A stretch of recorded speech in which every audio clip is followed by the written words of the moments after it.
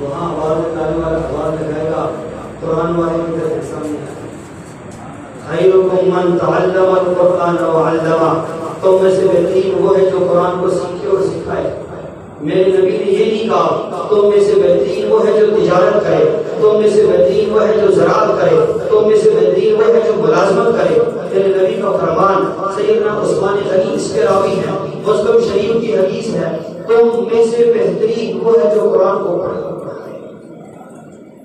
नबी का ये भी फरमान है, जिसका मफहूम ये है जो बंदा जिस बंदे को कुरान अता किया गया मौलवी के करोड़ मस्जिद तक, जिसको कुरान अता किया गया, जिसको कुरान पढ़ना और पढ़ाना दिया गया, जब वो अपने से आला किसी और को समझे उर्दू में जाकर यहाँ से हमारा मैंने तो हमारा मतलब नहीं कि हुआ हुआ ऐसी बात मेरे पास नहीं हुआ तो बड़ी बात है।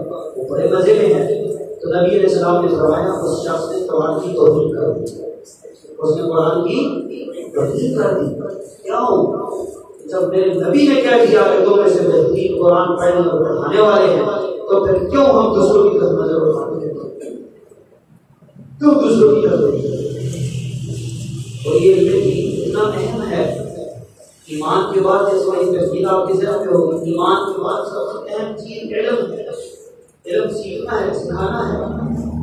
जब एक तालिब इल्म ये छोटे छोटे मासूम बच्चे सुबह शाम अल्लाह कुरान सीनों में महफूज करने वाले जब अपने घर से बाहर कदम निकालते हैं, अल्लाह तुम्हारे को ताला नूरियों को आसमानों पे हुलूम देते हैं, फरिश्तों को आसमानों पे हुलूम देते हैं। जिब्राइल तू भी सुन, बेशक नूरियों का सरदार है, इजराइल तू भी सुन बेशक तू बहुत बड़ा है मिकाइल तू भी सुन इसराफील तू भी सुन। तुम्हारे अंदर मैंने लाखों की तादाद में मलाइका फरिश्ते पूरी मखलूक दी है। इन सबको कहो, सुबह नमाज़ के फनादर से एक बच्चा अल्लाह का कुरान सीखने के लिए उस्मानिया मस्जिद जा रहा है सारे फरिश्ते नीचे उतर जाओ ज़मीन पे चले जाओ जहाँ जहाँ इस मासूम बच्चे का कदम पड़ता जाए इसका कदम ज़मीन पे ना बढ़े इसका कदम तुम्हारे नूरानी वतनों पे बढ़े ताकि दुनिया को पता चल जाए कि ये छोटा मासूम बच्चा ज़मीन पे कदम नहीं रख रहा बल्कि ये मलाइका के पैरों पे नूर के पैरों पे कदम रख के मस्जिद आ रहा है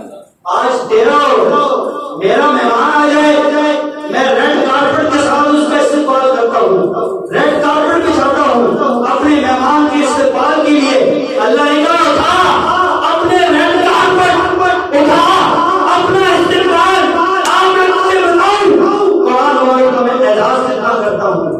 हूँ बच्चा घर से निकलता है। मैं फरिश्तों को कहता हूँ ऊपर इसके नीचे कार्पेट के अल्लाह की दौड़ मस्जिद तक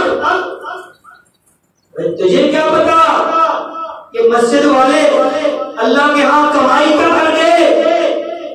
और तेरी नज़र तो माल पे, तेरी नज़र तो पैसे पे, तेरी नज़र तो औहदे पे, तेरी नज़र तो वजारत हुकूमत पे है। लेकिन मेरे मुस्तफ़ा की नज़र कुरान वालों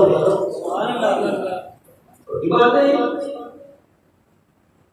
इसको रिकॉर्ड के उलमा के ऊपर बकवास कर रहे हैं। इसको रिकॉर्ड के ऊपर बात कर रहे हैं, अल्लाह की दौड़ मस्जिद तक और ये मस्जिद ना होती तो बाप को खबर तक नहीं पहुँचा सकता।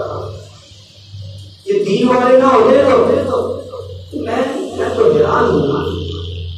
तो मेरे नबी ने क्या दिया अल्लाह मुबारक अंबिया। अंबिया के वारिस उलमा है, दीन वाले हैं। दीन वाले हैं दीन वालों के ऊपर बात करेंगे जब यहाँ से जा रहा था ना गरीब तक बात तो इसने जाते जाते ऐसा फसाद मचा दिया हमारे जहनों में हाय ऐसे वो जो आज कौन था जो था उस आज कुछ निकलाए हुए हैं इलम के हवाले से कुछ और उसको कर